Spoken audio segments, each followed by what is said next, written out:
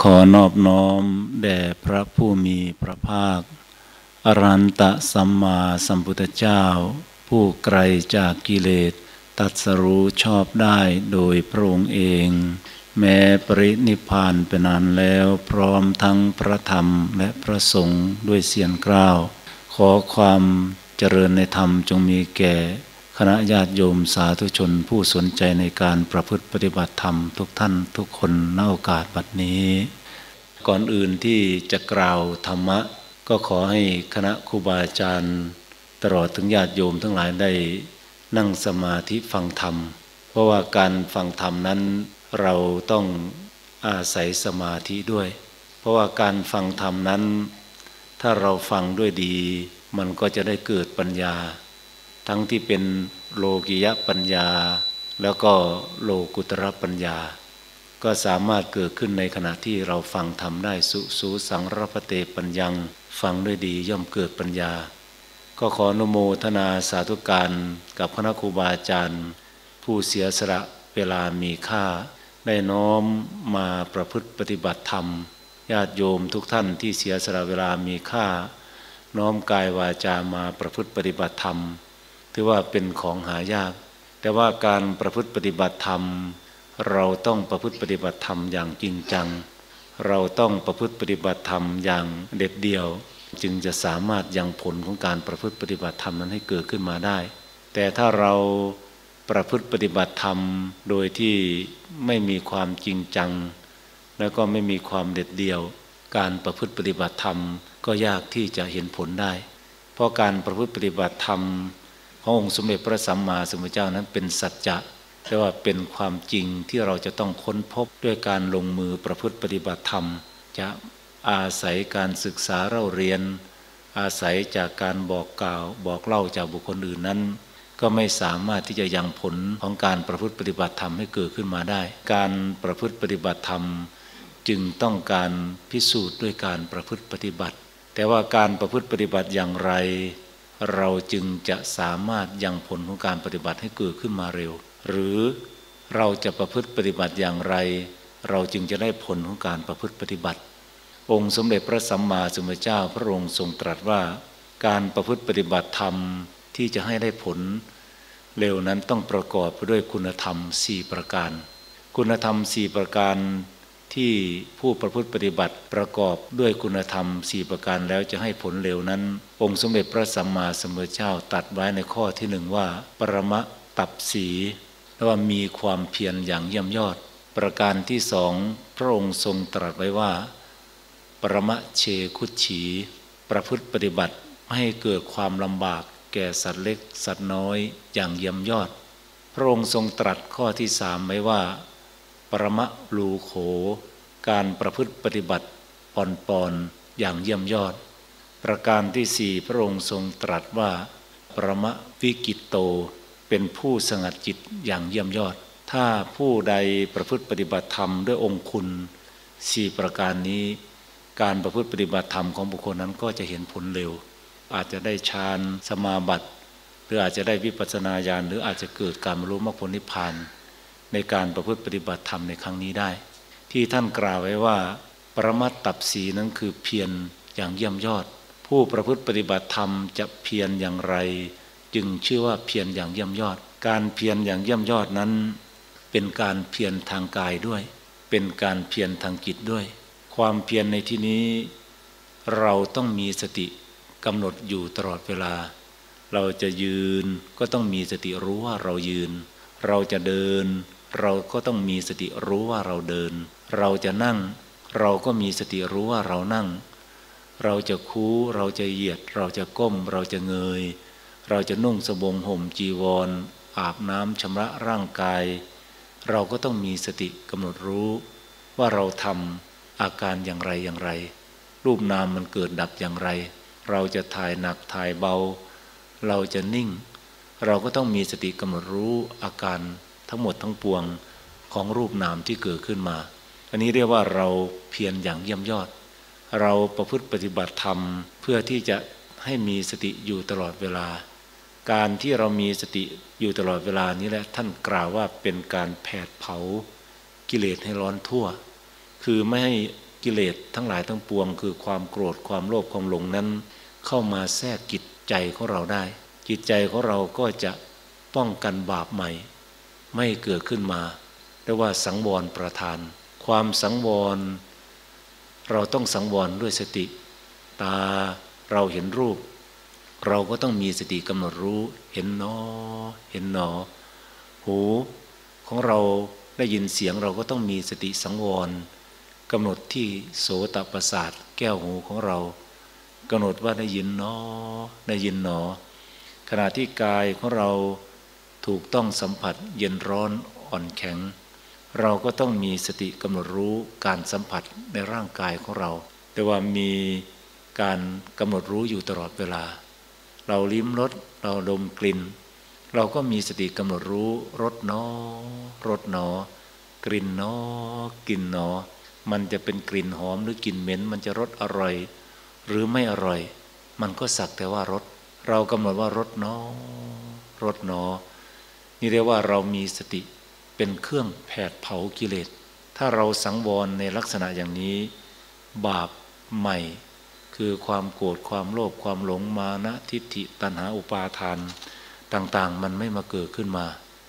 เมื่อบาปใหม่ไม่เกิดขึ้นมา ความวิปฏิสารความเดือดร้อนใจ เพราะบาปใหม่ที่จะให้ผลเรา มันก็ไม่เกิดขึ้นมา ใจของเรามันก็จะเริ่มใสขึ้นใสขึ้น เหมือนกับเรา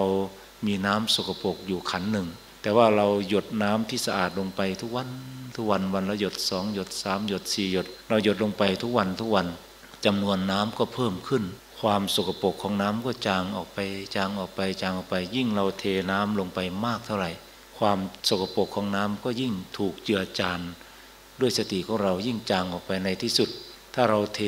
น้ำลงไปเป็นขันใหญ่เป็นกระป๋องใหญ่ น้ำสกปรกขันเล็ก ๆ นั้นก็จางหายไป ไม่เหลือร่องรอยแห่งความสกปรกไว้เรียกว่าบาปใหม่มันไม่เกิดขึ้นมา บาปเก่ามันก็เริ่มใสขึ้นใสขึ้นใสขึ้น นี่ท่านกล่าวว่าเป็นประหารประทาน เราจะละบาปเก่า ในจิตในใจของเรา เราต้องมีสติสมบูรณ์เสียก่อน ความเพียรก็คือการตั้งสติ ป้องกันบาปใหม่ละบาปเก่า ณะที่คณะครูบาอาจารย์ญาติโยมทุกท่านมาประพฤติปฏิบัติ ขณะที่เราประพฤติปฏิบัติ เรามีสติเดิน จงกรมขวาย่างนอ ซ้ายย่างหนอ พองนอ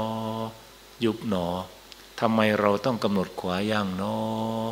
ซ้ายย่างหนอเห็นต้นยกกลางยกสุดยก ต้นเหยียบกลางเหยียบสุดเหยียบ หรือ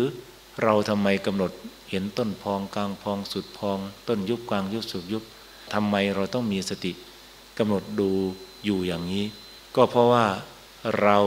ไม่ต้องการที่จะให้สติของเรานั้นเผลอไปตามอำนาจของกิเลสคือความโกรธ ความโลภความหลง ราคะตัณหาต่างๆ ให้สติของเราอยู่กับรูปกับนาม เห็นความเกิดขึ้นของรูปของนาม เห็นความตั้งอยู่ของรูปของนาม เห็นความ ดับไปของรูปของนาม เมื่อเราเห็นอยู่อย่างนี้ บาปเก่ามันก็เกิดขึ้นมาไม่ได้ บาปเก่าที่อยู่ในใจที่เราเคยทำไว้แต่ก่อนนู้น ถ้ามันเกิดขึ้นมาในใจของเรา อย่างนึกถึงอารมณ์เก่าๆที่เราเคยผ่านมาเคยถูกเขาด่า เคยถูกเขาต่อยเขาตี ถูกเขาคดเขาโกง บางครั้งมันคิดถึงอารมณ์เก่าๆขึ้นมามันก็โกรธพอโกรธขึ้นมา เราก็กำหนดที่ใจของเราโกรธเนาะโกรธเนาะจี้ลงไป โกรธเนาะโกรธเนาะขณะที่เรากำหนดว่าโกรธเนาะโกรธเนาะจี้ลงไปที่ใจของเรา สติที่เรากำลังกำหนดจี้ลงไปที่ใจของเรานั้นไปตัดอารมณ์ที่เรานึกถึงอดีต ไปตัดตัวอดีตนั้นให้หมดสิ้นไป เมื่อเราตัดอดีตหมดสิ้นไป ความโกรธที่อยู่ในใจมันก็จางหายไปด้วย สติที่เรากำหนดว่าโกรธเนาะโกรธเนาะมันก็ประวัติลงไปในห้วงผวังกจิต บันทึกไว้ในจิตในใจของเรา เปรียบเสมือนกับน้ำที่เราหยดลงไปในขัน ใจของเราที่อยู่ในห้วงผวังกจิตมันก็จะเริ่มใสขึ้นใสขึ้น บาปธรรมทั้งหลายก็อ่อนลงไปตามลำดับลำดับลำดับ ถ้าเราเพียรกำหนดแล้วกำหนดอีก บาปเก่าที่เกิดขึ้นในจิตในใจของเรามันก็จะอ่อนไปอ่อนไปอ่อนไป ในที่สุดเรานึกถึงบาปกรรมเหล่านั้น บาปกรรมเหล่านั้นก็ไม่สามารถทำจิตใจของเราให้เศร้าหมองได้ แต่ก่อนโน้นเราเป็นญาติเป็นโยม เราอาจจะเถียงพ่อเถียงแม่ เราอาจจะทำให้ท่านต้องร้องไห้น้ำตาไหล แต่เวลาเรามาประพฤติปฏิบัติธรรม เรามานั่งภาวนาพองนอยุบหนอ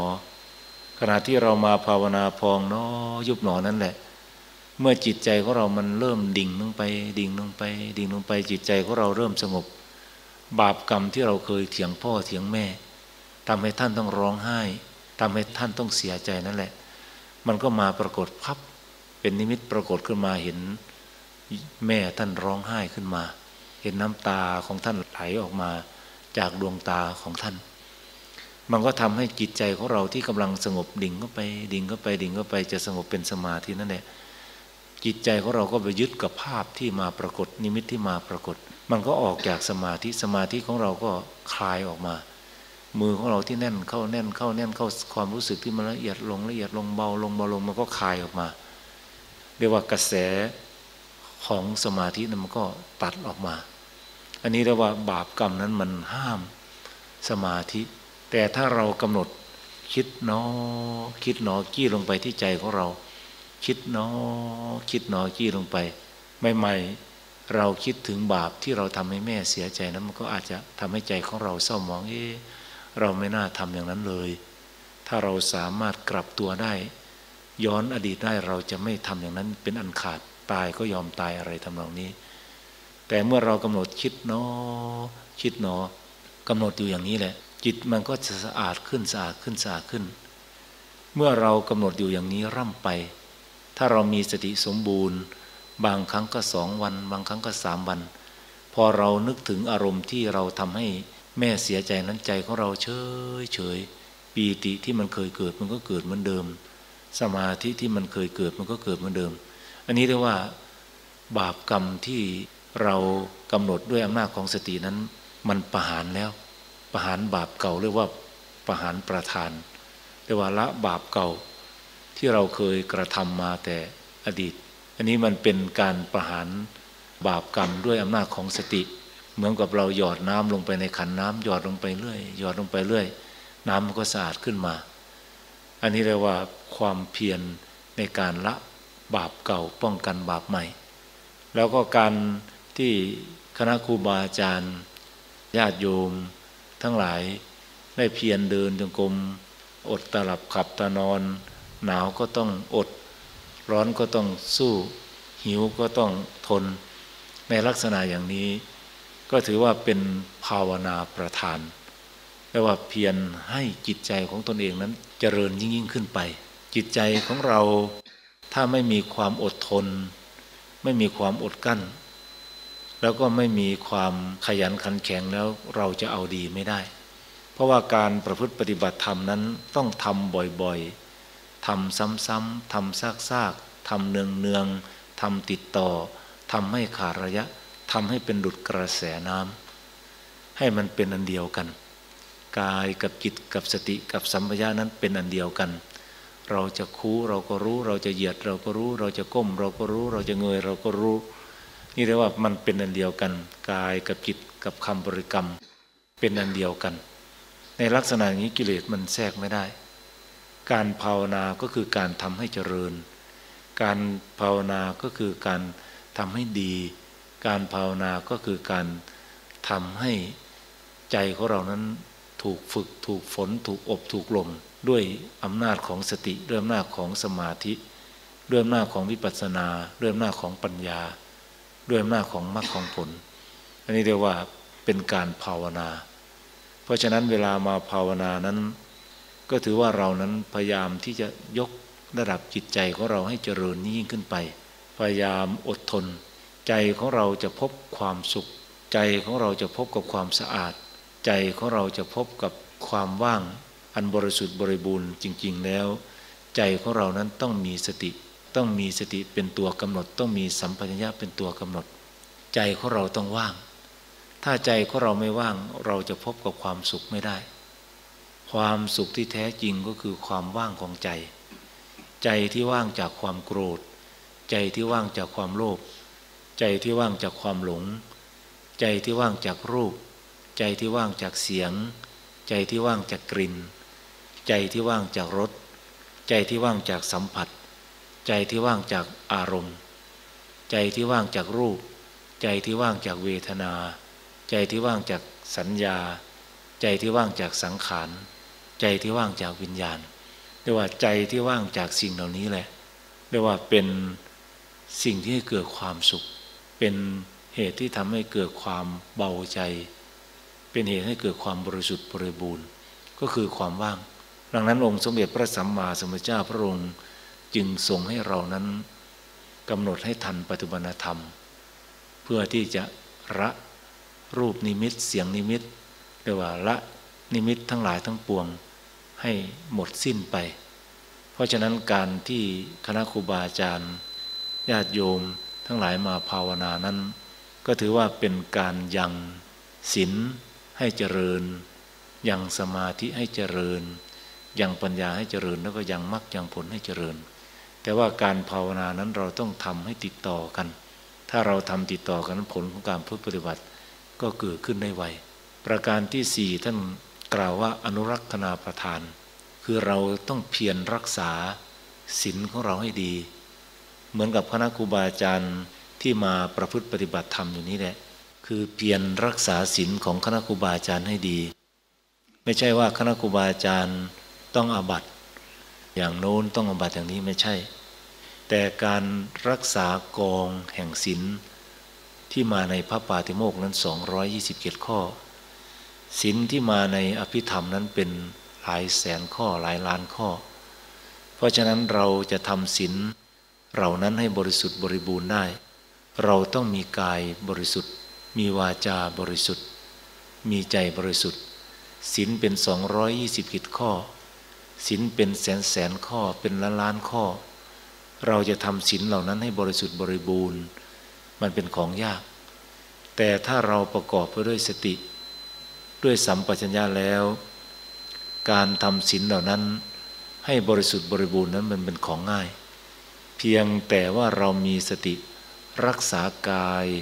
ของเรา ให้บริสุทธิ์ รักษาวาจาของเราให้บริสุทธิ์ รักษาใจของเราให้บริสุทธิ์ศีลทั้งหลายทั้งปวงนั้นก็เป็นอันบริสุทธิ์ อันนี้เรียกว่าท่านให้เราตามรักษาศีลของเราให้บริสุทธิ์ เหมือนกับคณะครูบาอาจารย์มาเข้าประวาสกรรม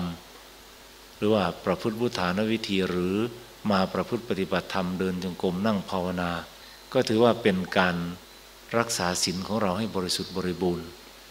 จากปกติศีลให้เป็นมัชฌิมศีลจากมัชฌิมศีลให้เป็นประมัตถศีลศีลในองค์มรรคศีลในวิปัสสนาอันนี้เรียกว่าเป็นการรักษาศีลสมาธิปัญญาของเราให้เจริญยิ่งขึ้นไป อันนี้ถ้าเราเพียรยืนเดินนั่งนอนกินดื่มทำพูดคิดทำจิตอะไร เรามีสติสัมปชัญญะอยู่ตลอดเวลาเรียกว่าประมะตับสีเรียกว่าเพียรอย่างเยี่ยมยอด วันหนึ่งเราตื่นขึ้นมา เราเผลอในอิริบทไหน เราเผลอตอนเข้าห้องน้ำเราเผลอตอนถ่ายหนักถ่ายเบา เราเผลอตอนฉันอาหาร เราเผลอตอนทำวัดเช้า ตอนทำวัดเย็น เราเผลอตอนนุ่งสบงห่มจีวร เราเผลอตอนคู่ ตอนหันหน้าตอนพูด อะไรทำนองนี้เราต้องมีสติกำหนดรู้ วันหนึ่งว่าตื่นขึ้นมาจนถึงหลับนอน เราเผลอไปตอนไหน ถ้าเรามีสติสมบูรณ์เราจะระลึกได้ สามารถรู้ว่าเราเผลอตอนไหนแล้วก็พยายามที่จะแก้ไขมีสติมันสมบูรณ์ถึงขนาดนั้น อริมักอริผลการมรลุเป็นพระโสดาสกิทานาคา เป็นพระหันติปรากฏขึ้นมา เพราะฉะนั้นการมีสติ การมีสัมปัญญะการกำหนดติดต่ออยู่ตลอดเวลา ท่านกล่าวว่าเป็นประมะตับสีเรียกว่าเพียรอย่างเยี่ยมยอด ประการที่สองท่านกล่าวว่า ประมะเชคุฉีเรียกว่าการประพฤติไม่ให้สัตว์เล็กสัตว์น้อยนั้นเกิดความลำบากอย่างเยี่ยมยอด คือการประพฤติปฏิบัติธรรมนั้น เราต้องระวัง ระวังกาย ระวังวาจา ระวังใจของเรา อย่าไปเบียดเบียนสัตว์อื่น สัตว์เล็กสัตว์น้อยนั้นให้เกิดความลำบากระมัดระวังอย่างยิ่งนัก แต่ว่าเป็นการเพียรไม่เกิดความลำบากแก่สัตว์เล็กสัตว์น้อยนั้นอย่างเยี่ยมยอด ท่านกล่าวว่า บุคคลผู้เพียรในลักษณะอย่างนี้ ก็คือบุคคลผู้เข้าไปตั้งกาย วาจา อันประกอบไปด้วยเมตตาในเพื่อนสาพมจารี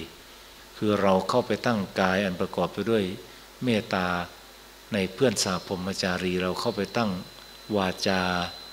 อันประกอบไปด้วยเมตตาในเพื่อนสาพมจารี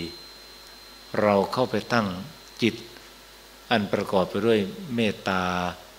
ในเพื่อนสาพมจารีนี่ในลักษณะของการ วางใจของเราในขณะที่ประพฤติปฏิบัติธรรม อย่าโกรธ อย่าเครือง อย่าเพ้ออย่าน้อยอกน้อยใจเพื่อนสะธรรมิก เพราะว่าบุคคลผู้ประพฤติปฏิบัติธรรมร่วมกันนั้น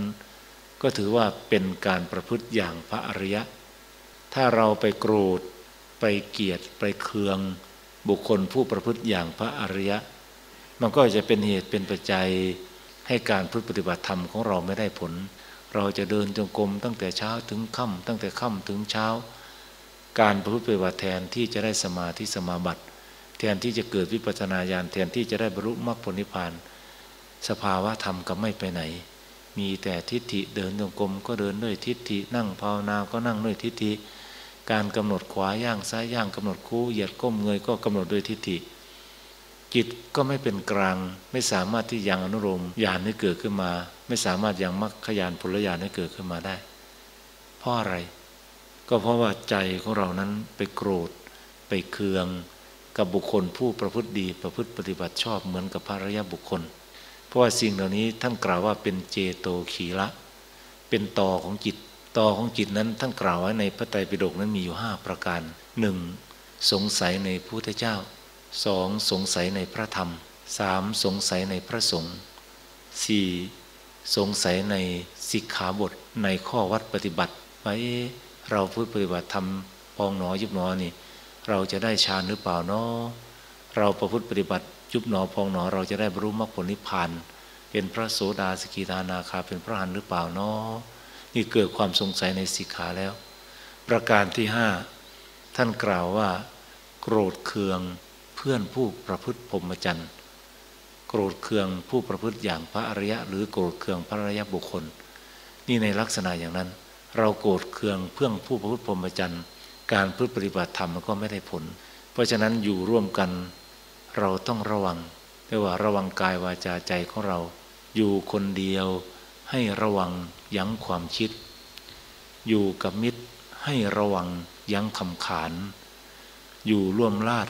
เคารพตั้งระวังการ อยู่ร่วมพานให้ระวังทุกอย่างเอ่ยนี่โบราณท่านกล่าวอย่างนั้น เราต้องอยู่คนเดียวก็ต้องระวังความคิด มันคิดก็ต้องกำหนดคิดเนาะคิดเนาะคิดเนาะคิดเนาะมันโกรธก็โกรธเนาะโกรธเนาะมันน้อยใจก็น้อยใจเนาะน้อยใจเนาะอยู่คนเดียวท่านให้ระวังยั้งความคิด อยู่กับมิตรให้ระวังยั้งคำขาน จะพูดจาพาที เราก็ต้องรู้หลักในการพูด เพราะว่าการพูดนั้นก็ถือว่าเป็นการบ่งบอกคนว่ามีนิสัยมีใจคออย่างไร ดังที่ท่านกล่าวไว้ว่า ก้านบัวบอกลึกตื้นชนลทาน มารยาทส่อสันดานชาติเชื้อ โชดฉลาดเพราะคำขานควรทราบย่อมหญ้าเหี่ยว แห้งเลื้อบอกร้ายแสลงดิน นี่ท่านกล่าว การอยู่ในเพื่อนพ้องเราต้องระวังยั้งคำขาน ท่านกล่าวว่าอยู่ร่วมราชเคารพตั้งระวังการ แต่ว่าเราอยู่ร่วมกับคนจำนวนมาก เราต้องรู้จักกาละเทศะ เราต้องรู้จักประเพณี รู้จักวัฒนธรรม รู้จักกฎหมาย รู้จักข้อบังคับ ไม่แหกกฎ ไม่ทำลายประเพณี ไม่ทำลายวัฒนธรรมต่างๆระหว่างอยู่ร่วมราชเคารพตั้งระวังการ อยู่ร่วมพานให้ระวังทุกอย่างเอ่ย อยู่ร่วมคนพานนั้นต้องระวัง คนพานจะแนะเราไปในทางที่ไม่ดี จะชวนเราไปในทางที่ไม่ดี คนอยู่ร่วมคนพานอันตราย เพราะฉะนั้นต้องระวัง ระวังทั้งกาย ระวังทั้งวาจา ระวังทั้งใจ ระวังทุกสิ่งทุกอย่าง ถ้าเราอยู่ร่วมคนพานเพราะฉะนั้นโบราณท่านว่าห่างมาให้ห่างศอก ห่างวอกให้ห่างวา ห่างพาลาต้องห่างตั้งแสนโยชน์นี่ห่างหมานี่เราห่างแค่ประมาณศอกหนึ่งสามารถหลบทัน ห่างวอกต้องห่างวา คือห่างลิงนั้นต้องอย่างน้อยต้องหนึ่งวา เพราะลิงนั้นไวกว่าหมา ถ้าเราเผลอแป๊บเดียวมันเต้นขึ้นคอเราแล้ว กัดคอเราก็ได้ เพราะฉะนั้นห่างลิงนั้นต้องห่างประมาณอย่างน้อยหนึ่งวา ห่างพาลาคือห่างคนผ่านนั้นต้องห่างถึงแสนโยชน์คือไม่เห็นเลยดีกว่า ไม่คบเลยดีกว่า ไม่พูดด้วยดีกว่า นี่เรียกว่าห่างตั้งแสนโยชน์เพราะฉะนั้นเวลาเรามาประพฤติปฏิบัติธรรม ท่านจึงว่าให้เรานั้นวางใจเป็นกลางแต่ว่าวางใจเป็นเมตตาไว้กับเพื่อนสาพมจารีนี่เราต้องแผ่เมตตาไปยังสัตว์เล็กสัตว์น้อยจะเป็นมดเป็นปวกเป็นหนู เป็นสัตว์สาวาสิ่งต่างๆ เราอย่าให้ใจของเรานั้นไปเบียดเบียนสัตว์ทั้งหลายทั้งปวง เป็นลูกน้ำก็ดี เป็นมดตัวน้อย เป็นแมงตัวเล็กก็ดี เราต้องมีใจเมตตา ว่าสัตว์เหล่านี้ก็เป็นจิตดวงหนึ่ง มนุษย์เราก็จิตดวงหนึ่ง เพราะฉะนั้นเขาเกิดเป็นสัตว์เหล่านี้ก็เพราะจิตหลง เขาก็จิตดวงหนึ่งเหมือนกัน เราก็จิตดวงหนึ่ง ชีวิตของเขาก็มีค่า เป็นวิญญาณวิญญาณหนึ่ง เป็นชีวิตชีวิตหนึ่งที่เขามาเสวยพบใช้กรรมของเขา เพราะฉะนั้น เราก็ควรเมตตา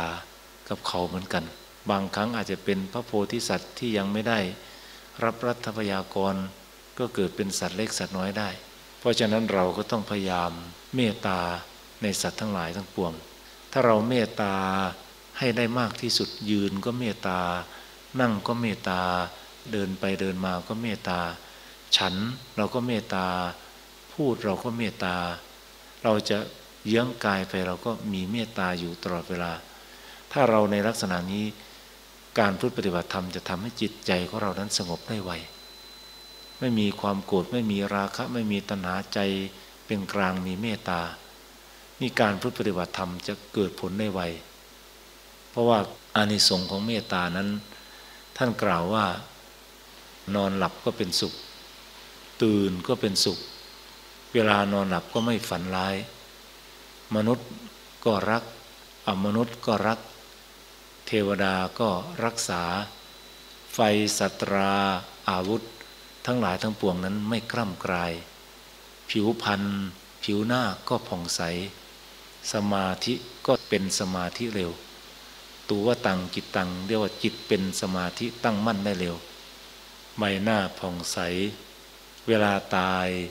ก็ไม่หลงตายไม่หลงทำกาละ แต่ว่าไม่หลงตาย ตายด้วยสติ ตายด้วยความตั้งมั่นแห่งจิตใจ ตายไปแล้วก็ไปเกิดในพรมโลก มีพรมโลกเป็นที่ไป นี่เรียกว่าบุคคลผู้มีสติ มันเป็นอย่างนั้น เรียกว่ามีเมตตา มีกิจเป็นเมตตาอยู่ตลอดเวลาอานิสงส์ของเมตตามันก็มากมายถึงขนาดนั้น ไฟก็ดีสัตราอาวุธต่างๆ ก็ไม่ทำร้าย เหมือนกับนางสามาวดี แผ่เมตตา ให้แก่คนที่เขายิงลูกศรใส่พระเจ้าอุเทนยิงลูกศรใส่ กระแสของเมตตานั้นแผ่ไปเป็นเกราะป้องกัน ลูกศรที่พระเจ้าอุเทนยิงมา ก็ย้อนกลับไปหาพระเจ้าอุเทน อันนี้เรียกว่าบารมีของเมตตามันมากอย่างนั้น ช้างนาราคิรี ถูกพระเทวทัตหมอมเล่า วิ่ง พื่อที่จะไปประหัตประหารองค์สมเด็จพระสัมมาสัมพุทธเจ้า พระอานนท์ผู้เป็นพุทธวัวถากวิ่งมาป้องกันพระเจ้า เรียกว่าเอาชีวิตนั้นถวายพระเจ้าพระเจ้าก็บอกว่าดูก่อนอานนท์เราตถาคตนั้นเป็นผู้บำเพ็ญบารมีมาดีแล้ว ไม่มีใครเลยในมนุษย์ เทวดามารพรมสเลชานทั้งหลาย ทั้งปวงจะทำอันตราย เราตถาคตได้ เพราะฉะนั้นเธอจงหลีกไปเถิดอานนท์นี่พระเจ้าพระองค์ทรงตรัสอย่างนั้น พอช้างวิ่งมาใกล้ๆ พระองค์ก็ทรงแผ่เมตตาไปอำนาจของเมตตานั้นไปกระทบกับจิตใจอันร้อนรุ่มของช้างผู้เมามันกำลังของเมตตาขององค์สมเด็จพระสัมมาสัมพุทธเจ้าก็ไปกระทบกับจิตใจที่ร้อนรุ่ม ทำให้จิตใจของช้างที่ร้อนรุ่มด้วยความเมาของสุรานั่นแหละเป็นจิตใจที่ส่างเมา แล้วเป็นจิตใจที่เกิดความศรัทธาในพุทธเจ้าได้รับกระแสแห่งความเย็นแห่งพระเมตตาของพระเจ้า ก็วิ่งไปแล้วก็ไปเอางวงไปคลอเคลียกับพระบาทขององค์สมเด็จพระสัมมาสัมพุทธเจ้านี่เมตตามันเป็นอย่างนั้นทำให้เกิดความสงบ ทำให้จิตใจของเราเป็นสมาธิทำให้เราเกิดฌานเกิดวิปัสนาญาณเกิดการบรรลุมรรคผลนิพพานได้ไวอันนี้เรียกว่าการพุทธปฏิบัติธรรม เราต้องประกอบเมตตาทุกเรียบท ถ้าผู้ใดยืนเดินนั่งนอนกินดื่มทำพูดคิดทำจิตอะไร เรามีเมตตาอยู่ตลอดเวลา เรียกว่าเป็นปรมะเชคุชีเป็นผู้ประพฤติปฏิบัติไม่เกิดความลำบาก เป็นผู้ประกอบไปด้วยเมตตาอย่างเยี่ยมยอด ประการที่สามท่านกล่าวว่า ปรมะลูโขเรียกว่าประพฤติปอนปอนอย่างเยี่ยมยอด ผู้ประพฤติปฏิบัติธรรม หวังผลในการพฤติปฏิบัติธรรมนั้น ต้องประพฤติปอนปอนเพื่อละอุปาทาน ความยึดมั่นถือมั่น เพื่อละโมหะ คือความลุ่มหลง ในสิ่งทั้งหลายทั้งปวง ในรูปในเสียงในกลิ่นในรสในสัมผัสในอารมณ์ต่างๆ ถ้าเราประพฤติปนปอนเพื่อที่จะละความยึดมั่นคืออุปาทาน เพื่อที่จะละความหลง เพื่อที่จะละตัณหาความทะเยอทะยานอยาก ในรูปในเสียงในกลิ่นในรสเราต้องประพฤติปนปอนเรียกว่าประมะลูโขทำไมเราต้องประพฤติปนปอนเพราะสิ่งเหล่านี้เมื่ออุปาทานไม่มี ความยึดมั่นไม่มีตัณหาความทะเยอทะยานอยากไม่มี ความหลงในรูปในเสียงในกลิ่นในรสไม่มี การพฤติปฏิบัติธรรมมันก็ง่าย เหมือนกับองค์สมเด็จพระสัมมาสัมพุทธเจ้า พระองค์ทรงประพฤติเป็นตัวอย่าง พระองค์ทรงประพฤติปนปอนอย่างเช่น พระองค์ทรงตรัสไว้ในกรณียกิจสี่ประการหนึ่งพระองค์ทรงตรัสไปว่า นุ่งผ้าบังสกุลเป็นวัด สองบินทบาทเป็นวัดสามอยู่โคนต้นไม้เป็นวัดสี่ฉันยาดองด้วยน้ำมูกเน่า นี่พระองค์ทรงตัดเป็นกรณียกิจ จะเป็นเจ้าฟ้ามหากษัตริย์มาบวชจะเป็นพระราชาผู้ยิ่งใหญ่มาบวชพระองค์ก็ทรงตัดกรณียกิจสี่ประการนั้นแหละแก่ทุกคนที่เข้ามาบวชในพระธรรมวินัยของพระองค์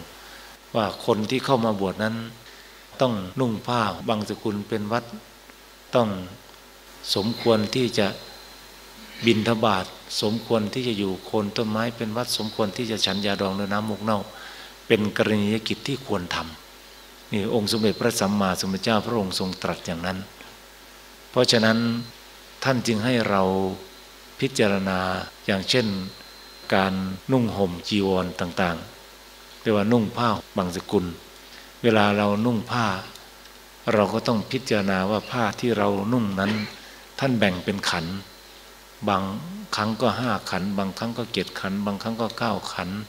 บางครั้งก็สิบเอ็ดขัน บางครั้งก็สิบสามขัน บางครั้งก็สิบห้าขัน บางครั้งก็สิบเจ็ดขัน บางรูปบางท่านถึงสิบเก้าขัน บางรูปบางท่านถึงยี่สิบเอ็ดขัน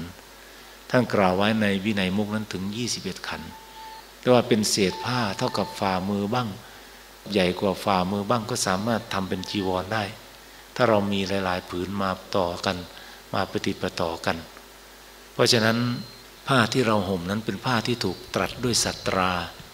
เป็นผ้าที่เป็นผืนเล็กผืนน้อย มาห่มร่างกายของเราเพื่อที่จะไม่เกิดของปฏิกูลโสโครกห่มปกปิดร่างกายของเราเพื่อไม่ให้เกิดความอุจจาระด้วยว่า ตัวของเรานั้น ไม่มีค่าไม่มีราคาอะไร จีวรที่ห่มร่างกายของเราก็ไม่มีค่าไม่มีราคาอะไร เราจะมายึดมั่นถือมั่นกับสิ่งเหล่านี้ไปทำไมที่องค์สมเด็จพระสัมมาสัมพุทธเจ้าพระองค์ทรงตรัสทำให้เป็นตัวอย่าง แต่ว่านุ่งผ้าห่มบางสกุลนั้นเป็นวัด ประการที่สองท่านฉันบินทบาทเป็นวัด เวลาเราฉันอาหารบินทบาท บางครั้งเราก็ได้อาหารร้อน บางครั้งเราก็ได้อาหารเย็น บางครั้งเราก็ได้อาหารเผ็ด บางครั้งเราก็ได้อาหารเค็ม บางครั้งเราก็ได้อาหารจืด บางครั้งเราก็ได้อาหารหวาน ไม่ถูกใจของเรา มันเป็นไปตามบุญ ตามกรรมตามบารมีของเรา เพราะฉะนั้นอาหารที่ได้มาบุคคลจะเป็นยาจกใส่บาตรพระองค์ พระองค์ก็ฉันเหมือนเดิม จะเป็นนางทาสี ใส่ขนม ใส่แป้งรำปิ้งรำใส่ข้าวกีพระองค์ก็ฉันเหมือนเดิมแต่ว่าพระองค์ทรงมีพระหฤทัยมีหัวใจ ไม่รังเกียจในอาหารของคนทั้งหลายทั้งปวง พระองค์ทรงพิจารณาว่าการฉันอาหารจะเป็นอาหารอันปราณีตอาหารอันเท้าสกะมาใส่ก็ตาม อาหารคนขอทานมาใส่ก็ตาม พระองค์มีผ้าฤทัยเป็นปกติ ฉันเพื่อความอยู่ได้ ฉันเพื่อความยังอัตภาพให้เป็นไปเพื่อการประพฤติพรหมจรรย์ เพื่อเผยแผ่พระศาสนาให้ตั้งมั่นถาวร นี่เรียกว่า พระองค์ทรงประพฤติปนปอนในเรื่องอาหาร และพระองค์ทรงประพฤติปนปอนในเรื่องของเสนาสนะ พระองค์ทรงตรัสให้อยู่โคนต้นไม้เป็นวัด คือไม่ยินดีในเสสนะที่ใหญ่ ไม่ยินดีในเสนาสนะที่ปราณีต ไม่หลงมัวเมาอยู่ในการที่โยมทั้งหลายมาสร้างเสนาสนะอันสัพยะให้ ให้ยึดถือธรรมชาติเป็นหลัก ให้ถือโคนต้นไม้เป็นหลัก ว่าบุคคลควรอยู่โคนต้นไม้ ถ้าอยู่โคนต้นไม้แล้วจะทำให้การพฤติปฏิบัติธรรมนั้นเจริญรุ่งเรือง พระองค์จึงตัดทุรงควัตในเรื่องรุกขมูล เพราะอะไรก็เพราะว่าการอยู่โคนต้นไม้นั้น เป็นเหตุเป็นปัจจัยให้เราละความยึดมั่นถือมั่นต่างๆ เป็นการประพฤติปนปอนในเสนาสนะ เพื่อที่จะยังพรมจรรย์ของเราให้เจริญยิ่งขึ้นไปจนกว่าการบรรลุมรรคผลนิพพาน ถ้าเราบรรลุมรรคผลนิพพานแล้ว ความคล่องในรูปในเสียงในกลิ่นในรสมันก็ลดลง มันก็น้อยลง ความหลงในรูปในเสียงในกลิ่นในรสมันก็ลดลง ตามอำนาจของมรรคของผลของพระนิพพานที่เราเข้าถึง ถ้าเป็นพระโสดาบันความคล่องในรูปในเสียงในกลิ่นในรสในสัมผัสในอารมณ์ต่าง ๆ มันก็ลดลงไป 20%แต่ถ้าบรรลุเป็นพระสกทาคามี ความคล่องความหลงความผูกพันในรูปในเสียงในกลิ่นในรสในสัมผัสในอารมณ์ก็ลดลงไป 40%ถ้าบรรลุเป็นพระนาคามี ความคล่องในรูปในเสียงในกลิ่นในรสในสัมผัสในอารมณ์ต่าง ๆ ก็ลดลงไป 60%แต่ถ้ารู้เป็นพระหันตัดกิเลสขาดจากการทัศนดาน ก็ลดความยึดมั่นถือมั่น ตัดขาดจากความยึดมั่นถือมั่น ตัดขาดจากความทะเยอทะยานอยากในรูปเสียงกลิ่นรสสัมผัสอารมณ์ต่าง ๆ นั้นได้หมดสิ้นไป จิตใจของพระหันนั้นเป็นจิตใจที่บริสุทธิ์ ขันของพระหันนั้นเป็นขันที่บริสุทธิ์ รูปของพระหันนั้นเป็นรูปที่บริสุทธิ์เรียกว่าเป็นขันธวิมุตติ เป็นขันที่พ้นจากกิเลสทั้งหลายทั้งปวงเป็นวิสุทธิขันเป็นขันที่บริสุทธิ์ เพราะฉะนั้นสิ่งทั้งหลายทั้งปวงที่องค์สมเด็จพระสัมมาสัมพุทธเจ้า พระองค์ทรงให้เราพิจารณาแบบปอนๆแต่ว่าการฉันก็ฉันแบบปอนๆการนุ่งก็นุ่งแบบปอนๆการห่มก็ห่มแบบปอนๆแม้แต่ยารักษาโรคพระองค์ก็ทรงให้ฉันยาดองด้วยน้ำมุกเน่า ไม่ได้ว่ายากวดละสองพันยากวดละห้าพันหรือว่ากวดละหมื่นสองหมื่นกวดละแสนสองแสนไม่ใช่ พระองค์ทรงให้ฉันยาดองด้วยน้ำมุกเน่า เอาผลสมอบ้าง เอาผลมะขามป้อมบ้าง แล้วก็มาเยี่ยวเสกวดดองเยี่ยวของรูปใดก็รูปนั้นก็เยี่ยวดองไว้ แล้วก็ให้เราฉันสมอหรือสันมะขามป้อมนั่นแหละเป็นยามหาการ เพื่อที่จะทำให้ร่างกายของเรานั้นหายปวดหลังปวดเอว ปวดตามร่างกายของเรา จะทำให้เราถ่ายท้องได้สะดวกสบาย การนั่งภาวนาก็ทนการเดินจงกรมการประพฤติปฏิบัติธรรมก็ทนสุขภาพจิตก็ดี ปลอดโปร่งโล่งสบาย ไม่เป็นท้องอืดท้องเฟ้ออะไรต่างๆ อันนี้เราว่าพระองค์ทรงตรัสให้เราเป็นผู้มีความสันโดษเป็นผู้ประพฤติปนปอน หรือท่านกล่าวไว้ในเรื่องของยามหาพิกัด เอาดินมาเป็นยา สามารถที่จะเอาดินดำมาเป็นยาให้เราทานแก้โรคผอมเหลืองอะไรต่างๆ ก็มีอยู่ในบาลี อยู่ในพระไตรปิฎกอันนั้นเรียกว่าพระองค์ทรงให้เราประพฤติปนปนเพราะฉะนั้นเวลาเรามาประพฤติปฏิบัติธรรม ก็ให้เรานั้นประพฤติปนปนเหมือนกับพระมหากัสสปะ เหมือนกับ พระโมคคราช นี่จะประพฤติปฏิบัติปนปอนเพราะว่าเหตุให้เกิดความศรัทธา เหตุให้เกิดความเลื่อมใส ให้คนศรัทธาให้เกิดความเลื่อมใสนั้น พระองค์ทรงตรัสเหตุแห่งความเลื่อมใสนั้นไว้สี่ประการหนึ่งท่านกล่าวว่ารูปปปมาณิกา ถือรูปเป็นประมาณ คนที่เกิดศรัทธานั้น บางคนก็ถือรูปเป็นประมาณเห็นรูปร่างหน้าตาดี ก็ศรัทธา เห็นท่าทางสง่าผ่าเผยผิวพรรณผ่องใส ก็เกิดศรัทธาขึ้นมา ยังไม่ได้พูดยังไม่ได้คุยยังไม่ได้ฟังเทศฟังธรรม เห็นพระรูปนั้นเออหน้าตาดีผ่องใสดีผิวพรรณดีนี่เกิดศรัทธา สง่าผ่าเผยองค์อาจ เกิดความศรัทธาเรียกว่ารูปปปมาณิกา ประการที่สองท่านกล่าวว่าโคสัปปมาณิกา มีเสียงไพเราะ มีเสียงเทศไพเราะเพราะพิง ในลักษณะอย่างนี้เรียกว่าเป็นผู้ถือเสียงเป็นประมาณศรัทธาเพราะได้ฟังเสียง เหมือนกับเราฟังเสียงดีเก ที่เขากล่าวในวิทยุเทศในวิทยุ หรือเป็นผู้จัดรายการต่างๆ เราไม่เคยเห็นหน้าแต่ว่าเสียงเสียงฟังแล้วมันสบายใจ เสียงฟังแล้วมันเกิดความสุข เกิดความสงบครูบาอาจารย์ท่านเทศอยู่สถานีวิทยุฟังแล้วมันเกิดความสบายใจ บางครั้งฟังเสียง โดยที่ไม่พิจารณาเนื้อหาสาระ ฟังแต่เสียงก็สงบแล้ว อันนี้ท่านกล่าวว่าเป็นโคสัปปมาณิกา ถือเสียงเป็นประมาณทำให้เกิดความเริ่มใสเพราะเสียง ประการที่สามเรียกว่าลูขับประมาณิกา ถือความเศร้าหมองเหมือนกับที่ผมกล่าวขึ้นมานั่นแหละพระมหากัสปะเป็นผู้ถือผ้าบางกุลเป็นวัด แม้แต่องค์สมเด็จพระสัมมาสัมพุทธเจ้าพระองค์ทรงตรัสว่าดูก่อนกัสปะเเธอมีอายุมากแล้ว มีอายุพรรษาล่วงมามากแล้ว ผ้าสังคาติของเธอนั้นมีน้ำหนักมากเกินไป เธอควรที่จะผ่อนการถือธุดงมาใช้คะหะปฏิกีวร ก็ได้ในพระพุทธเจ้าพระองค์ทรงตรัสในลักษณะอย่างนั้น แต่พระอากัสปะกราบทูลพระองค์ว่าจะ ใช้ผ้าบางสกุลเพื่อเป็นแบบอย่างที่ดีของสาวกทั้งหลายทั้งปวงสืบต่อไปในความหนักแน่นของพระอากัสปะเป็นอย่างนั้น เพราะฉะนั้นการประพฤติปฏิบัติแบบปอนๆจึงถือว่าเป็นการพึ่ปฏิบัติธรรม เพื่อที่จะละความยึดมั่นถือมั่นละอุปาทานละตัณหาความทะเยอทะยานอยากต่างๆ เป็นการประพฤติปฏิบัติธรรมที่เหมาะ แก่การยังพรหมจรรย์ให้เจริญยิ่งขึ้นไป ประการที่สี่ท่านกล่าวว่า ธรรมประมาณิกาว่าถือธรรมเป็นประมาณ คือเสียงไม่เพราะก็ไม่เป็นไร แต่การเทศมีเหตุมีผล มีธรรมะเพราะพิงมีอัตรรสที่อย่างลงสู่ศีลสู่สมาธิสู่วิปัสสนาญาณมีอัตรรสอย่างลงสู่การรู้มรรคผลนิพพาน ว่าการรู้มรรคผลนิพพานมารู้ยังไงเนาะ อะไรจึงชื่อว่าการบรรลุต่างๆ นี่สามารถกล่าวธรรมะในลักษณะอย่างนี้ได้เรียกว่าธรรมะประมาณในการเลื่อมใสโดยธรรมนี่เรียกว่าถือธรรมเป็นประมาณ เพราะฉะนั้นผู้ประพฤติปฏิบัติธรรมนั้น ท่านให้ประพฤติปฏิบัติแบบปอนปอนเรียกว่าประมะลูโขเรียกว่าเราประพฤติปฏิบัติธรรม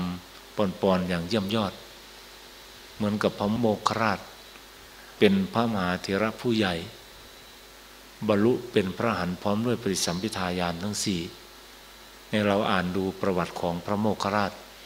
เป็นพระมหาเถระเป็นสาวกผู้นับเนื่องใน 80 องค์ที่เป็นผู้ใหญ่ขององค์สมเด็จพระสัมมาสัมพุทธเจ้าของเรา ประวัติของท่านนั้น ท่านจะประพฤตินุ่งผ้าเก่าๆ แล้วก็เวลาไปประชุมสงฆ์นั้นท่านจะนั่งอยู่ห่างๆ นั่งอยู่ท้ายๆนุ่งผ้าเก่าๆพิสูจน์ทั้งหลายทั้งปวง ผู้ไม่รู้จักท่าน ไม่พิจารณาให้ดี บางครั้งก็ไม่ให้ท่านเข้าสู่ที่ประชุมก็มี เพราะอะไรเพราะไม่รู้จักท่าน แต่พอเอ่ยชื่อขึ้นว่าพิสูจรูปนี้ชื่อว่าโมคราช เท่านั้นแหละพิสูจน์ทั้งหลายทั้งปวงก็เกิดขนพองสยองก้าวเกิดศรัทธาเกิดความเริ่มใสเพราะพระองค์ทรงตรัสว่าเป็นผู้ประพฤติปนปนอย่างเยี่ยมยอด เพราะฉะนั้นการประพฤติปฏิบัติธรรม ถ้าเราไม่หลงไหลในรูปในเสียงในกลิ่นในรสไม่มัวเมาจนเกิดความทะเยอทะยานอยากในรูปในเสียงในกลิ่นในรสการประพฤติปฏิบัติธรรมนั้นมันก็ง่าย ถ้าหลงไหลเมื่อไหร่หรือทะเยอทะยานอยากเมื่อไหร่ การพฤติปฏิบัติธรรมของเราก็เป็นไปได้ยาก เหมือนกับภูเขาเป็นสิบลูกสามสิบลูกร้อยลูกพันลูกหมื่นลูกแสนลูกนั้นมาขวางกั้นเรา การที่จะรู้มรรคผลนิพพานก็เป็น อันยากแล้วก็เป็นอันไม่ได้เรียกว่าเป็นการบรรลุธรรมได้ยาก แต่ถ้าเราละสิ่งเหล่านี้ทั้งหลายทั้งปวงแล้ว การบรรลุมรรคผลนิพพานก็เพียงแค่เราดีดนิ้วมือ เพียงแต่ว่าเราพลิกหน้ามือเป็นหลังมือ เพราะว่าเมื่อเราไม่หลงแล้วปัญญามันก็ต้องเกิด เมื่อปัญญาเกิดความตั้งมั่นแห่งจิตมันก็ต้องเกิดสมาธิมันก็ต้องเกิด มื่อสมาธิเกิดวิปัสสนาญาณมันก็เกิด เมื่อวิปัสสนาญาณเกิดมรรคผลมันก็ต้องเกิด ไม่อยากให้มันเกิดมันก็ต้องเกิด เพราะฉะนั้นจึงถือว่าเป็นการพุทธปฏิบัติธรรมเพื่อให้ได้ผลไวประการที่สี่ท่านกล่าวว่า ปรมวิกิตโต เป็นผู้มีความสงัดอย่างเยี่ยมยอด เราสงัดอย่างไรจึงจะชื่อว่าสงัดอย่างเยี่ยมยอด ท่านกล่าวว่าสงัดอย่างเยี่ยมยอดนั้นต้องสงัดกายด้วย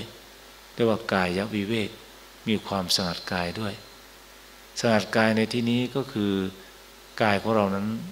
เว้นจากบาปธรรมทั้งหลายทั้งปวง ไม่ฆ่าสัตว์ไม่ลักทรัพย์ ไม่ประพฤติผิดในกรรมไม่ดื่มสุราเมรัยต่าง ๆ เหล่านี้แปลว่ากายของเราสงัดจากบาปธรรมทั้งหลายทั้งปวงเรียกว่ากายวิเวก แต่ถ้าผู้ใดหลีกเล่นไปอยู่ป่า แต่ว่ากายก็ยังทำบาปอยู่กายก็ยังฆ่าสัตว์อยู่ กายก็ยัง กระทำไม่ดีไม่ถูกไม่งามอยู่ อันนี้ไม่ชื่อว่ากายวิเวก แต่ถ้ากายของผู้ใดสงัดจากบาปธรรม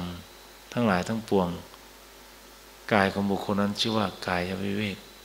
เป็นกายที่สงัดจากบาปจากอากุศลทั้งหลายทั้งปวง แล้วท่านกล่าวว่าสงัดจิต มีจิตตวิเวก สงัดจิตในที่นี้คือจิตของเรานั้นไม่เกิด กิเลสทั้งหลายทั้งปวง ไม่เกิดความโกรธไม่เกิดความโลภไม่เกิดความหลง ไม่เกิดราคะมานะทิฏฐิตัณหาต่าง ๆ เราจะทำอย่างไร ให้จิตของเรานั้นเกิดความสงัดเกิดความวิเวกอย่างนั้น เราต้องกำหนดให้ทันปฏิบัติธรรม ยืนเดินนั่งนอนกินดื่มทำพูดคิดทำจิตใดๆเราต้องกำหนดอยู่ตลอดเวลา ถ้าเรากำหนดอยู่ตลอดเวลาจิตของเราก็จะเป็นจิตสงัดจิตวิเวก จิตของเราธรรมดาธรรมดา ถ้าเราไม่บริกรรมพองเนาะยุบหนอถ้าเราไม่บริกรรมพุทโธ ถ้าเราไม่มีสติกำหนดอยู่ จิตของเราก็เป็นจิตธรรมดา แต่ถ้าเรากำหนดจิตของเราให้นิ่งกำหนดว่าคิดเนาะคิดหนอหรือพองเนาะยุบหนอกำหนดให้เห็นรูปนาม ไม่จิตของเรามันวิ่งไปที่อื่น ถ้าเรากำหนดอยู่อย่างนี้จิตใจของเราก็เป็นสมาธิเรียกว่ามีจิตตั้งมั่นเป็นสมาธิ มื่อจิตตั้งมั่นเป็นสมาธิก็เรียกว่าจิตสงัดแล้วเรียกว่าจิตตวิเวกแล้วเรียกว่าความวิเวกแห่งจิตมันก็ปรากฏขึ้นมาแล้ว เพราะฉะนั้นถ้าความวิเวกแห่งจิตมันเกิดขึ้นมาแล้ว ปัญญามันก็ต้องเกิดพิปัสนาญาณมันก็เกิด ไม่ปัสนาญาณเกิดมรรคผลนิพพานมันก็ต้องเกิดนนี้เรียกว่าจิตตวิเวก ประการที่สามมันกล่าวว่า อุปธิวิเวกคือสงัดจากกิเลสคือมีความสงัดจากกิเลส เราจะสงัดจากกิเลสได้เราก็ต้องมาเจริญวิปัสสนากรรมฐาน เหมือนกับคณะครูบาอาจารย์เหมือนกับญาติโยม ทั้งหลายกำลังประพฤติปฏิบัติธรรมอยู่นี้แต่ว่าเรามาเพียรเพื่อที่จะยังอุปธิเวกให้เกิดขึ้นมา ถ้าเราบรรลุเป็นพระโสดาบันเพียงครั้งเดียวเท่านั้นแหละ อุปธิวิเวกแห่งพระโสดาบันก็เกิดขึ้นมาแล้วทำให้เราละสักยะทิฏฐิวิกิกิจชาศิรวัตตประมาทลงได้ ความวิเวกแห่งสักยทิฏฐิ ความวิเวกแห่งวิกิกิจฉาความวิเวกแห่งศิลพัตตปรมาตนั้นก็มันก็เกิดขึ้นมาแล้ว ในจิตใจของพระโสดาบัน พระโสดาบันเมื่อบรรลุเป็นพระโสดาบันแล้ว ตายไปเกิดพบใหม่ชาติใหม่สักยะทิฏฐิมันก็ไม่เกิด วิกิกิจฉามันก็ไม่เกิด ความสงสัยในพระพุทธธรรมพระสงฆ์ไม่เกิด เรียกว่าสักยทิฏฐิวิกิชาศิลพัตตประมาทการถือสินพจน์ต่างๆ มันก็จะไม่เกิดขึ้นมา บุคคลนั้นก็จะชื่อว่ามีคุณธรรม อันเป็นที่พึ่งนั้น ติดตามไปสัมปรายพบข้างหน้า เกิดดีอย่างมากก็เกียรติชาติเท่านั้นเองนั่นเรียกว่าสงัดจากกิเลสของพระโสดาบัน ถ้าผู้ใดเป็นประเภทสัตตุขตาประมาก็เกิดเจ็ดชาติ แต่ถ้าผู้ใดเป็นโกลังโกละ ก็เกิดอีกอย่างมากไม่เกินหกชาติ แต่ถ้าผู้ใดมีวริมากคนนั้นก็เป็นเอกพีชีคือเกิดเพียงชาติเดียว ก็จะได้สัมโพธิปรายโนก็ได้ตัดสรู้เป็นพระเจ้า ก็จะได้ตัดสรู้เป็นพระหันไม่วันใดก็วันหนึ่ง เพราะฉะนั้นการประพฤติปฏิบัติธรรม ถ้าเรามีความสงัดจิต มันก็จะเป็นเหตุเป็นปัจจัยให้เราได้บรรลุคุณธรรมอย่างที่กล่าวมา ถ้าผู้ใดได้บรรลุคุณธรรมคือพระโสดาบันแล้ว องค์สมเด็จพระสัมมาสัมพุทธเจ้าพระองค์ทรงตรัสว่าจะเอาทรัพย์สมบัติของมนุษย์ ทั้งหลายทั้งปวงมากองกัน จะเป็นทรัพย์สมบัติของเศรษฐีมาเศรษฐีขรหบดีพระราชา หรือพระมหาราชาหรือสมบัติของมนุษย์ซึ่งเป็นของพระเจ้าจักรพรรดิมารวมกันกองสูงมากมายขนาดไหนก็ตาม องค์สมเด็จพระสัมมาสัมพุทธเจ้าพระองค์ทรงตรัสว่าไม่เท่ากับเสี้ยวหนึ่งของการบรรลุเป็นพระโสดาบัน เพราะฉะนั้นการรู้เป็นพระโสดาบันนั้นจึงมีอานิสงส์มากมายเรียกว่าสามารถป้องกันอบายภูมิได้ สามารถป้องกันนรกได้ นี่เรียกว่าผลของการประพฤติปฏิบัติธรรมบรรลุเป็นพระโสดาบันมันเป็นอย่างนั้น แต่ถ้าผู้ใดมีความสงัดกิเลสยิ่งไปกว่านั้นอีก คือสามารถทำลายราคะโทสะให้น้อยลงไป บุคคลนั้นก็จะได้บรรลุเป็นพระสกทาคามี แต่ว่าความยึดมั่นถือมั่นในรูปในเสียงในกลิ่นในรสแทบจะหมดแล้ว ความกำหนัดในอารมณ์ต่าง ๆ ก็แทบจะหมดแล้ว ในพระสกทาคามี แล้วก็ถ้าผู้ใดมีความสงัดมากขึ้นไปนั้น ก็บรรลุเป็นพระราคามี แต่ว่าสามารถละราคะโทสะได้ ราคะโทสะนั้นไม่เกิดถึงบุคคลนั้นจะตายไปเกิดในภพใหม่ชาติใหม่ มันก็ไม่สามารถที่จะพาไปเกิดในภพใหม่ชาติใหม่ ที่นอกเหนือไปจากสุทธวาสผมได้ ผู้ที่บรรลุเป็นพระราคามีแล้วก็ไปเกิดในสุทธวาสผมเท่านั้น เพราะอะไรเพราะอำนาจของการละราคะโทสะได้ เพราะฉะนั้นเวลาเราประพฤติปฏิบัติธรรม ท่านจึงให้มีความสงัด ถ้าเราไม่สงัดจากอุปาทิคือไม่สงัดจากกิเลสแล้ว เราก็ไม่สามารถจะหาความสุขได้เจอ เพราะว่าเหตุแห่งความทุกข์ก็คือกิเลสนั่นแหละเป็น การบงการให้ใจของเราคิดชั่วทำชั่วพูดชั่ว เราไปเกิดในรกนับพบนับชาตินับกลับนับกันไม่ได้ ก็เพราะจิตของเรานี่แหละยินดีในบาปกรรมทั้งหลายทั้งปวง แต่ถ้าเราไปเกิดในสวรรค์ก็ดีมาเกิดเป็นมนุษย์ก็ดี เราไปเกิดในพรมโลกก็ดี ก็เพราะอาศัยจิตของเราที่สงัดจากอำนาจของกิเลสทั้งหลายทั้งปวง เราจึงได้มาเกิดในมนุษย์ได้เกิดบนสวรรค์ได้เกิดพรมโลก เพราะฉะนั้นการประพฤติปฏิบัติธรรมนั้น ท่านให้เรานั้นสงัดจากกิเลสให้ได้ เพราะว่ามันเป็นที่สุดของการเวียนว่ายตายเกิด เป็นที่สุดของสังสารวัฏเป็นที่สุดของวัฏสงสาร เป็นฝั่งแห่งสมสัตว์ทั้งหลายทั้งปวง ที่จะแหวกว่ายสายทานแห่งโอคะ กันดานพยาธิกันดานมรณะกันดานข้ามพ้นกันดานทั้งหลายทั้งปวงนั้น ไปสู่สถานที่อันประเสริฐ คือพระนิพพานได้ เพราะฉะนั้นการพึ่ปฏิบัติธรรมที่จะให้ผลเร็วนั้น ท่านกล่าวว่าต้องประกอบด้วยปรมะตับสีคือเพียรอย่างเยี่ยมยอด ปรมะเชคุชีเพียรไม่เกิดความลำบากแก่สัตว์เล็กสัตว์น้อยอย่างเยี่ยมยอด ปรมะรูโขประพฤติปฏิบัติปอนปอนอย่างเยี่ยมยอด แล้วก็ปรมะวิกิตโต สงัดจิตอย่างเยี่ยมยอด ถ้าผู้ใด ประพฤติปฏิบัติประกอบด้วยองค์คุณสีประการนี้ บุคคลก็สามารถที่จะบรรลุมรรคผลนิพพานได้ ในอนาคตการใกล้ๆนี้ วันนี้กระผมอาตมาภาพได้กล่าวธรรมมาก็เห็นว่าพอสมควรเจเวลา ในท้ายที่สุดนี้ก็ขอน้อมเอาบุญกุศลทั้งหลายทั้งปวงที่พระสงฆ์สามเณรประขาวแม่ชีคณะครูบาอาจารย์ทั้งหลายได้บำเพ็ญมาดีแล้ว ก็ขอให้บุญกุศลทั้งหลายทั้งปวงเหล่านั้น จงได้มารวมกันเป็นตบะเป็นเดชะ เป็นพระปัจจัยโดนบันดาลส่งไปถึงพระเดชพระคุณหลวงพ่อใหญ่พระราชพระยากร จงทุกประการแล้วก็ขอให้บุญกุศลทั้งหลายทั้งปวง ที่พวกเราทั้งหลายได้บำเพ็ญมาดีแล้วนั้น จงได้มารวมกันเป็นตบะเป็นเดชะ เป็นพระปัจจัยส่งเสริมให้คณะครูบาอาจารย์ตลอดถึงญาติโยมทั้งหลาย จงเป็นผู้ที่เจริญ ด้วยศีลเจริญด้วยสมาธิเจริญด้วยปัญญาได้บรรลุมรรคผลนิพพานในอนาคตการนั้นใกล้ๆนี้ด้วยกันจงทุกท่านทุกคนเธอ